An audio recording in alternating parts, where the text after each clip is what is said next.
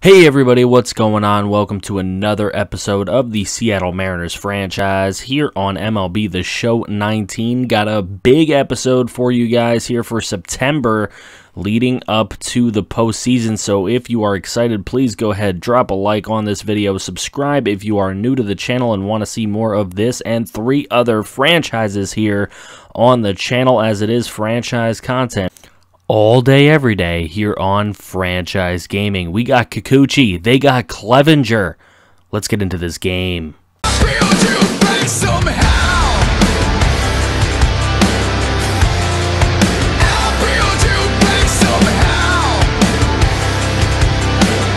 Okay, so here's our lineup for the day. It's a little bit of a younger lineup as we've got Padilla leading off. We have Sammy Francisco and catcher Michael Papirski at the end of the lineup. Those guys coming up to help us out from AAA. Part of the September call-up system. Let's see if we can get this dub. As Kikuchi going to walk the first batter, DJ LeMahieu. It's Francisco Lindor going to put one out into the gap, and that is going to bring home the runner as the Indians going to take that 1 nothing lead. So here's Kikuchi up against Ramirez and Jose Ramirez down the right field line. Going to bring Lindor in and remain on first base. For Miguel Andujar, the former Yankee, going to take Kikuchi deep to the right field seats. And that's going to make it a 4 nothing game right off the bat.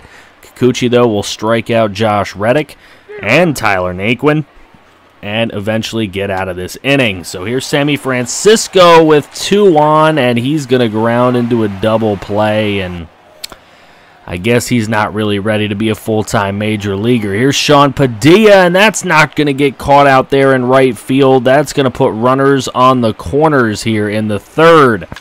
Here's Bogaerts. He's going to ground out, and he's going to ground into a double play and end our threat there. Now, top six, though, Bogaerts going to make up for it with a solo shot out to right center field.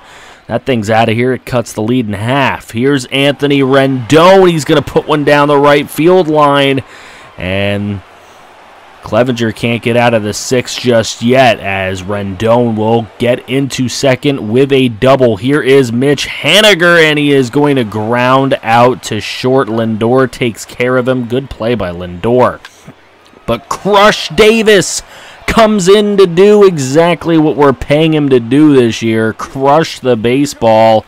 He's going to tie the ball game. But Josh Reddick going to take one deep off the wall in right center. That's going to bring a run home here as we try to make the play, but the throw's not there.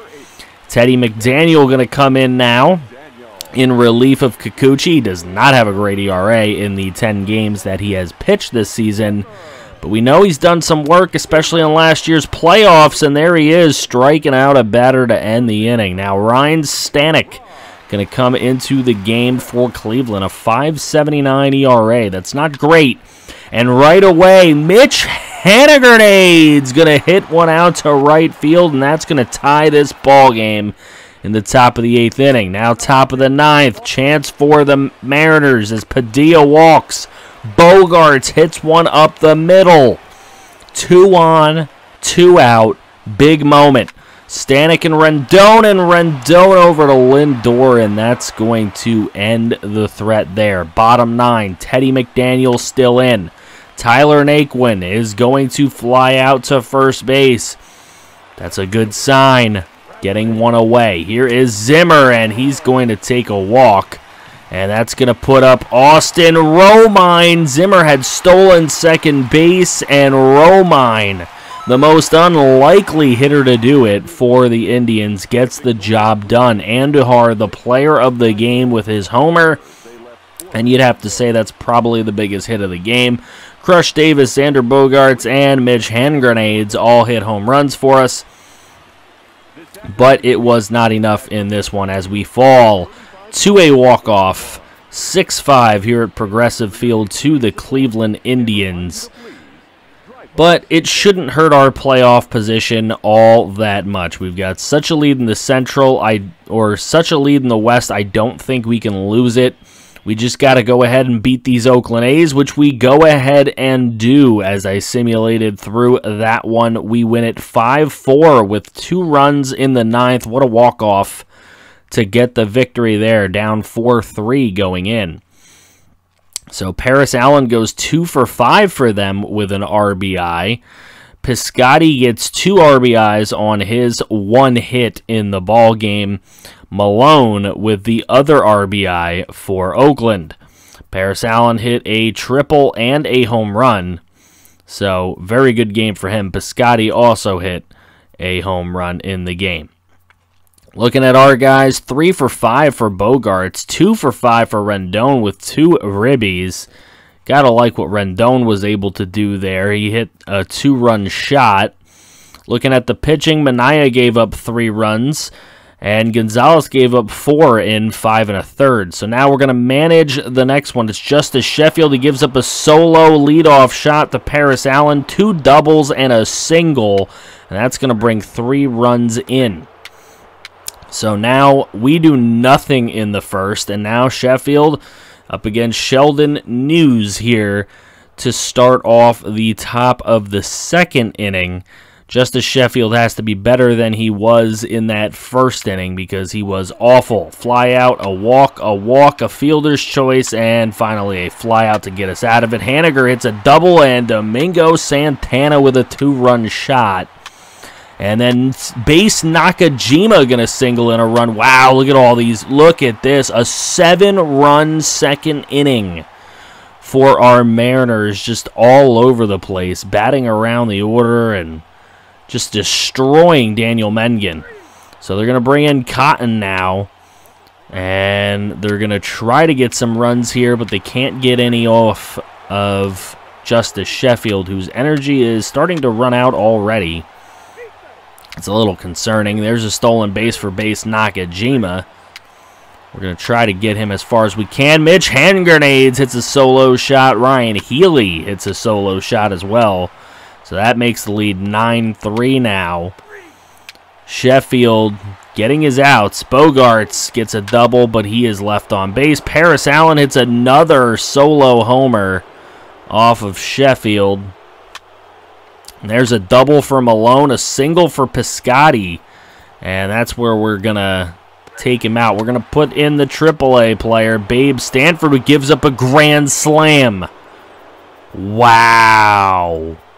So Villalobos going to come in now, and he will get us out of the inning. Domingo Santana now up, and the game is now 9 8 and now a lot closer than it was before. But Ryon Healy with a solo shot, another homer for Healy in this one, and that's going to make it 10 to 8. So now there's Bogaerts on base with Montas pitching and nothing ends up happening. So it is time to bring in a closer. And Keith Lovett, we try to bring in the AAA man. He can't do it. So we're going to bring in Ken Giles to try and get us out of this thing. There's a pop up, there's a fly out, and we're going to win it. A lot more dramatic than it needed to be, but we get the 10 to 8 victory here against the Oakland A's, and we sweep them in this two game set. Now it is the Astros and the A's. They are kind of fighting for that first wild card spot, and you can see the Astros take two out of the three games in their final series, and that's going to put the A's two games up on the wild card but out of the spot for the first wild card. They're pretty much not going to get that. We are now in the last series of the year as we've simulated forward to it. So three games remaining. The A's are up two on the Orioles. Orioles would have to win, sweep this entire series to make the playoffs. Let's see if they can do it as we're going to do some CPU CPU gameplay here to see who ends up with the final playoff spot in the American League. Dylan Bundy on the mound. He's got Matt Chapman at the plate with a man on second base, and that thing's going to carry over the 388 Rickey Henderson sign, and that's going to be gone. A 2 0 start for the A's. Here's Paris Allen, and he's got one down the left field line. That's going to bring another runner home in the bottom of the second. So Jonathan Villar going to lead off the top, or he's going to have top of the third here with two outs and a full count, and he bombs one out there. So Villar starts the scoring for the O's. Here's Ryan Mountcastle, and he's got one going deep, and it's out of here. Ryan Mountcastle with a two-run shot has tied this game. Frankie Montas is coming into the game. He's only pitched in three games. He did pitch in that managed game against us. But he's going to give up a three run bomb to Jonathan Villar, his second homer of the game. And Alex Cobb going to come in for the O's with this 3 1 3 run lead at 6 to 3. Cobb has been a very middling pitcher, and he's got bases loaded here. Pinder is going to dribble one to third, and the double play is complete to get out of it. Wonderful defensive play from Baltimore. Richard Bleier coming into the game now. He's got a great record, great ERA. Hopefully he can keep it going here for the O's. The underdogs unite. Here's Matt Olson with the bases loaded. He's going to rip one up the middle. That's going to bring in a run. Somebody else coming home, and he's going to get gunned down at the plate. That was Malone getting gunned down. And now Wall up for the O's, and he has got one going deep to left field, back, back, and out of here over the 330 wall. And the lead is three once again. Jharel Cotton going to come into the game now. He does not have the best of ERAs in relief. And he's going to face Jace Peterson, and his ERA is going to hold up to be pretty bad, as that's going to go over the 362 wall and give the O's a four run lead. However, that wouldn't last very long, as here's a bomb right here going over the right field wall for a solo shot, bringing the A's a little bit closer. Tommy Kahnle going to come into the game here late for the A's as he's got two on in the top of the ninth, and that's going to bring a runner home for sure, making it nine to five. Now two. Now they intentionally walk a batter to bring up DJ Stewart and Stewart is going to get an out, but he will be be safe at first base. That brings another runner home. It's a 10-5 lead for the O's. Pinder going to strike out, and now Jurickson Profar up at the plate with Tanner Scott pitching, and he gets two strikeouts in a row to win this one for the Orioles. Villar, clearly the player of the game. Two homers, four total ribbies in this one. And now the Orioles live to fight another day as we go into the second game of this three game set. Reminder if the A's win any of them, they clinch the playoff spot. So here it is Orioles, they got to get this. Villar going to lead off against Snell, and he's going to lead off with a bomb. Jonathan Villar off of Blake Snell. He hits his third homer in two games. Raymond Ha going to come in in relief of starter here in the bottom of the fifth inning as nothing much has happened, but this is going to be Paris Allen, and it is going to be over the center field wall to tie it up. So now Matt Olson going to hit one down the right field line. That one's going to be called fair, and that is going to put two runners in scoring position here now bases loaded with two outs, and that's going to be taken care of by the defense as they get out of this thing with a tie ball game. Daniel Gossett going to come into it now for the A's. And he does exactly what he's supposed to do. We'll see if Jimmy Yacabonis can do the same thing for the O's in the bottom of the eighth.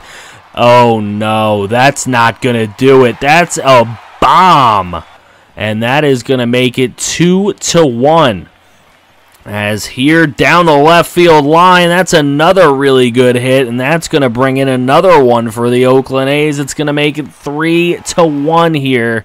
And Lou Trivino going to come into the game to try and close these Orioles out and put the Oakland A's, another division rival of ours, in the postseason. Here is the first batter, and he's going to pop out on a 2 2 pitch. Easy infield fly pop out for Matt Chapman to catch. Now here's Valenzuela against Trivino. It's going to be grounded to second and thrown on to first. Olson gets the put out there. So now DJ Stewart with the last chance, and that's kind of an embarrassing way to go out as the Oakland A's have clinched that final American League playoff spot. Daniel Gossett gets the win. He only pitched one inning. believe he got hurt in the ball game, but the A's bullpen did a fantastic job all right, so now we go into the records for the season. We'll take a look here. Blue Jays are going to be in the postseason as the winners of the AL East. Look at the Yankees. They actually finished above 500. If you guys remember the records that they had in August, they did an amazing job to finish where they were at. Indians clearly in the Central, and three teams from our division. Wow, just to make it a little bit harder we may have to face a team we know very well. So, in the wild card, it's going to be the Astros and the A's. We will have that for you next episode with some CPU CPU gameplay. The Phillies win the NL East. The Nats are going to make the wild card. The Mets, with 93 wins, are left out of the playoffs. Reds win the Central with 104 wins. Pirates going to make the wild card as well. So it'll be Pirates, Nationals in the NL wildcard, which will also be brought to you on some CPU CPU gameplay. The Rockies make the playoffs with only 88 wins. Very sad the Mets got left out because you'll see they're in a lot of like league leading things and awards here. As we start with the awards, Mike Trout going to win the MVP in the American League. I'm sure he deserves it with a 324 average and 43 homers. Cy Young goes to Carlos Carrasco. He went 18 and 6 with a 256 ERA. Carlos Correa with the batting title with that 327 average, best in the bigs. The reliever of the year goes to our boy Ken Giles. Very good signing. 47 saves on the year and a 244 ERA. So we get the reliever of the year going into the postseason. Hopefully, he can keep that going. Josh Ockimey going to win rookie of the year for the Boston Red Sox. Hank Aaron Award goes to Mike Trout for the third consecutive season. Shane Bieber wins Gold Glove pitcher for the Yankees. Gold Glove catcher Gary Sanchez also for the Yankees. That's his third in a row. Gold Glove first baseman Jake Bauers, Second base Gleyber Torres. Third base Miguel Andujar. Shortstop Francisco Lindor. Left field will be Andrew Benintendi. Center will be Bradley Zimmer. And right field Mason Valenzuela of the Orioles. Silver Slugger DH Nick Castellanos. Catcher Salvador Perez. First base Paul Goldschmidt. Second base Jose Altuve. Third base Jose Ramirez. Shortstop Carlos Correa was hoping Bogaerts would get it, but he didn't hit 33 homers. Outfield, you get Trout, you get Stanton, and you get Mitch Haniger for the second straight year. With his 35 home runs, 102 RBIs, he's been huge. Now, to the National League, look at this. The NL MVP is Michael Conforto with a 307 average and 52 home runs. Michael Conforto hit 52 home runs. Patrick Corbin wins the Cy Young at 20 and 4. Corey Seager wins the batting title. Reliever of the Year award, Matt Bowman for the Reds. So, very interesting. That's why they were able to win so many games. He had 49 saves. Rookie of the Year's Mitch Keller of the San Francisco Giants. Odd odd. So the former Pirate going to the Giants. Hank Aaron Award goes to Michael Conforto, second straight Met to win the award. Gold Glove pitcher Luis Castillo wins his second in a row. Matt Wieters at catcher. Freddie Freeman wins his third in the row at first. Garrett Hampson at second base. Brian Anderson wins his second in a row at third. Amed Rosario at short. Marcell Ozuna at left. Ender Inciarte at center. J.P. Hunt at right. Silver Slugger pitcher Joe Ross with that cool 151 average and 10 RBIs. Wilson Ramos at catcher. Let's see, Dozier at second base, Machado at third, Trea Turner at short, Conforto easily in the outfield, as well as Bryce Harper and Christian Yelich. So, looking at the list of top 50 prospects, we're going to see if we see anybody we would know. James Bowman is number one prospect in baseball. Let's see. There's a lot of Padres here. That's very interesting. And we're going to see if there's anybody from the miniseries. There you go. John Zoidberg is a top prospect, number 17. Jo Adell still a prospect in this. AJ Puk still a prospect. Oof, some of these guys have been prospects for a while. Let's see. Jarred Kelenic. So there's our first prospect at uh, 34 ranking. Tom Hammock, one of our very first draft picks. He's number 36 in the league. Keith Lovett is number 46. So there we go. We got three so far. And finally, Jamie Leasy, one of our older prospects. I mean, his face looks like he's 80, but he's only 24. So we have some top prospects. There's some guys from the mini series and the top prospects, and we are all set for the playoffs. The Oakland A's and the Houston Astros are going to take each other on in the AL wild card, NL wild card, Pirates, and Nats. You will see those two computer versus computer in the next episode. So make sure that you like this video, subscribe for more of this content just like this, and three other franchises on the channel. Franchise content all day, every day here on Franchise Gaming. So don't forget to hit that noti bell. You're a pretty little star boy.